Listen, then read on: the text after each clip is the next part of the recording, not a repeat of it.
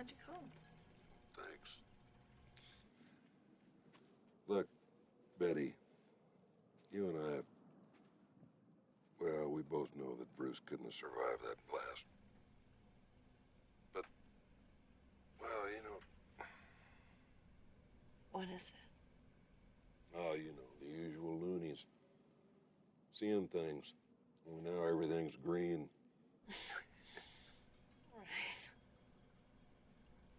uh, if by some chance he did survive, you should try to contact you. know, try to get in touch.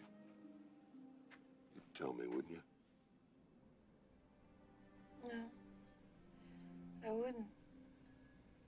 But you know as well as I do, I wouldn't have to. I mean, my phones are bugged, my computer's tapped, I'm under surveillance.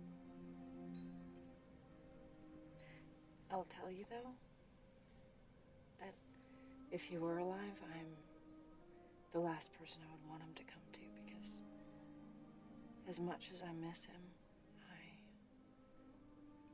I loved him. I. Uh, Yeah. I'm sorry, Betty. I am so sorry. I know you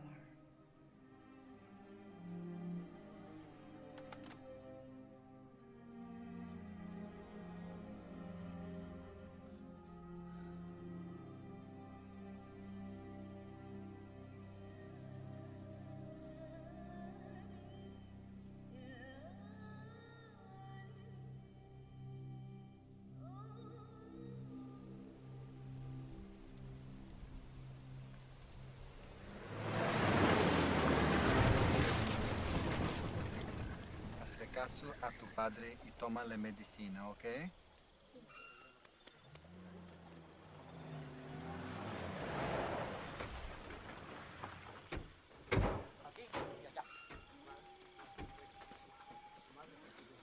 Esto se acabó.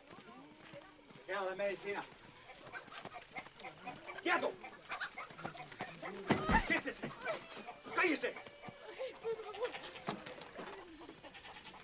Necesitamos las medicinas para la gente que vive aquí. ¿Quién eres tú para decidir lo que necesita esta gente? Estas personas están ayudando a nuestros enemigos. Posiblemente tú también. Coge eso. Es ya propiedad del gobierno. Me está enojando. No le gustaría verme enojado.